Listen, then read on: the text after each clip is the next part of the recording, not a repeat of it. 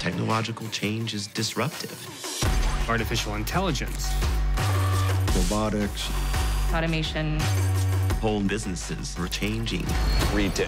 Fast food. Driverless vehicles. You guys are truck drivers. How do you feel about it? I'm scared, I deliver your food that you're eating, and it's a good feeling as a human being.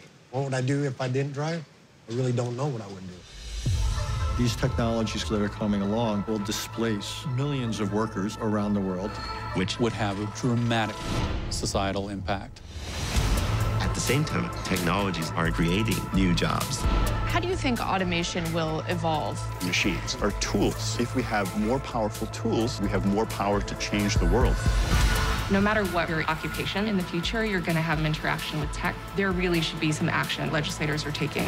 What worries me is by the time we get around to dealing with this, it's going to be too late.